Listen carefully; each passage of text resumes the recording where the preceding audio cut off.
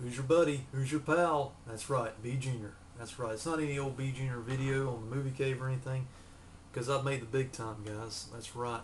I finally got featured here on the House of Horror. That's right. Basically, uh, Jay the Stingray, fellow YouTubers, put out the communique, if you will, asking for fill-in reviewers here. And I thought, what better way to get on the House of Horror than to do a good old horror movie review? I haven't done a straight horror movie review in probably a few weeks anyway on my channel, or a good month or two since Halloween. Um, I'm basically, I hope that I can measure up, guys. I've been watching your videos uh, for years now on the House of Horror, and uh, I jumped at the chance because I just wanted to sit down and talk some horror. It's been, uh, you know, we're in December now and haven't got back to uh, any ho- really hardcore horror stuff since uh, the uh, Halloween videos that I were doing. Let's not digress, guys. One video that was sitting up there on the shelf just kind of poking its way out at me and saying, hey, talk about me, talk about me.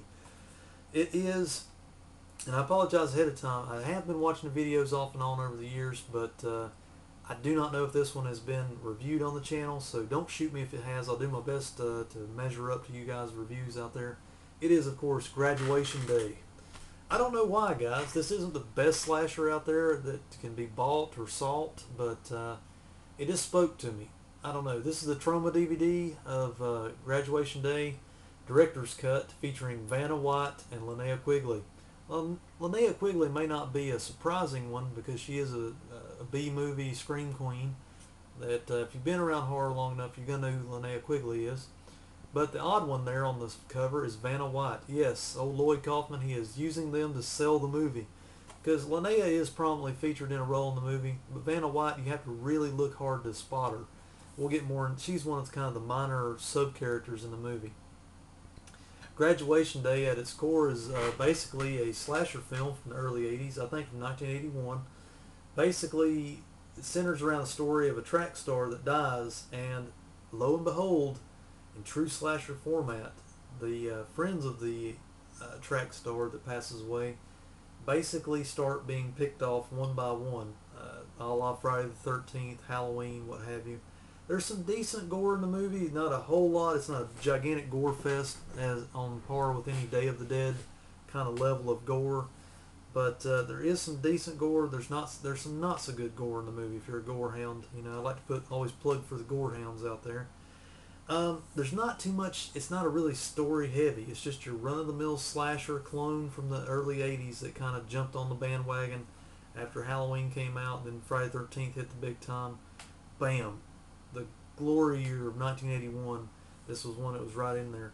I remember great graduation day mainly from the VHS days, the old video mom and pop store days. Uh, that's, that's probably one of the last times I watched that until I got this DVD recently. I bought this around Halloween time this year, but I just couldn't work in a review, and I don't know. I took it. I took in a viewing recently, and it, it was about the same. It uh, I don't know what the major difference is between the director's cut and the VHS version that I remember from back in the heyday. But uh, this DVD does have an introduction by Lloyd Kaufman, president of Troma Film or Tromaville, whatever you want to call it creator of the Toxic Avenger. He always plugs that because it's his main claim to fame. Uh, optional English subtitles, interview with Scream Queen Linnea Quigley. And also it has a feature, Learn How to Disarm Your Friend in Tromatic Classroom, plus trailers and tromatic goodies. I'm not a big, uh, I mean, I'll buy a Troma DVD if it's the only one to buy out there, guys. I'm just kind of giving you a little DVD overview there. Um, Troma DVDs historically have been a little more expensive than they should be, if that makes any sense. You do get some extras on some of these, but they're usually only on par with like VHS quality, unless it's like one of their bigger flagship titles like uh, Toxic Avenger or Class of Nuke 'Em High that's gotten the Blu-ray treatment, something like that. Usually the quality's not so good, picture quality. But we don't always watch it for quality, do we guys? We watch it for the sheer fun of the film.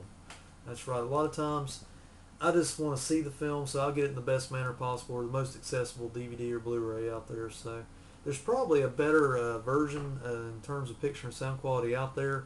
I just bought this because it was new and it was affordable, and uh, I just wanted to add it to the collection. There's the disc for you. I'm trying to be thorough here on the House of Horror. There is an insert for graduation day. Um, in terms of ranking it against other slashers out there, if you like Friday the 13th, if you like Halloween movies, and you're really just looking for something different of that era that's probably not didn't go on to become a franchise. This one's kind of in there with New Year's Evil, um, probably The Prowler. You know, movies that had decent gore, but they didn't go on to make their own franchise. So that's why I can say I would definitely try to pick this one up, or at least try to jump on Netflix. I think for a time there they had Graduation Day on Netflix, uh, instant view. So if you're not really just wanting to buy the cow now, try the milk on Netflix and see if it's your cup of tea there, guys. Um, it's just a great little slasher, kind of in that vibe of, uh, I don't know, what are some other good ones there that I can just think of? Those sub, those kind of grade B slashers that I've done videos before in the past. Ones that don't really make the cut. They're kind of the junior varsity favorites rather than the varsity.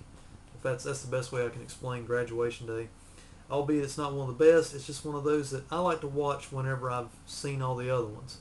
Um, although I like Madman probably a little bit more, the thing about it is, you know, so this falls into that category where they just didn't have like multiple sequels of the film. So that's my best way I can explain, uh, you know, Graduation Day.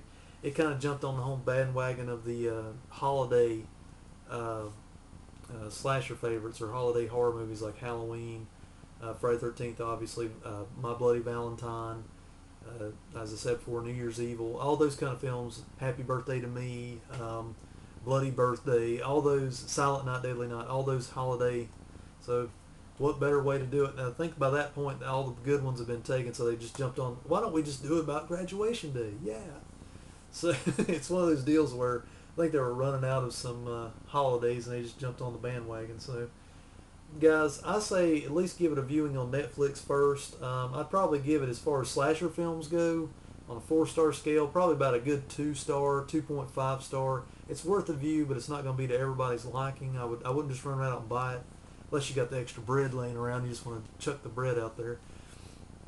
But uh, you know, it's just one of those deals where I felt like talking about it because I, on my channel at least I've never reviewed it, and I thought for my at least my fill-in uh, time on House of Horror here, I would talk about Graduation Day.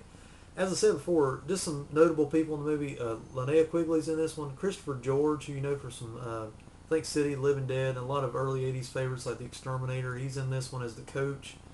Um, is he the killer or isn't he? We don't know. I'm not going to ruin it for you guys. I'm not going to tell you the ending, so you got to watch it and watch the whole entire thing. Vanna White, who they plaster on the front here from Wheel of Fortune fame, uh, Pat Sajak's lady on the show there. Um, she does show up in this movie, but you really you really have to be looking close to find her because I said the picture quality is not too good. It's a real dark transfer. Um, she's in it and out of it throughout the film. She's probably only got collectively about 10 to 12 minutes screen time, if that, kind of collectively put together. Linnea Quigley does have more screen time. It's interesting. Watch the uh, interview on this DVD about her uh, involvement in the film. It's one of her first roles and uh, she kind of got the role mainly because the actress that they had to play her part wouldn't go topless in a scene. And Linnea, if you know her from other films and other interviews, you know that she has she doesn't have a problem with nudity basically. So she jumped in there in true scream queen uh, format of the day and just went topless, and that's how she got her scene basically. She tells that in her interview, so I feel safe in saying that. Guys, I say check it out. Try to do an instant view or rental of some kind before you uh, buy the cow, is my opinion. Graduation Day is one of those good grade B slashers I don't think will disappoint over time. Mainly if you're just looking for something different and after you get tired of watching all the Nightmare on Elm Streets and Friday 13th, if you watch those to death, probably pick this one up and give it a shot. Hope you guys have enjoyed the little fill-in review here today on the House of Horror. Subscribe to their channel. They do they have a great format where they have a different person reviewing every day of the week. I would probably jump in and do it myself if, if offered a role, but uh, I already do a YouTube channel, and I work's been kicking my butt, so I try to do them when on the fly. So, but give give these guys some props, give them some sub love, and uh, jump in there and uh, watch all their old videos. They got tons of great videos on their channel. They need more subs to keep that channel going. Rock on, dudes. I'll see you next time. Bye.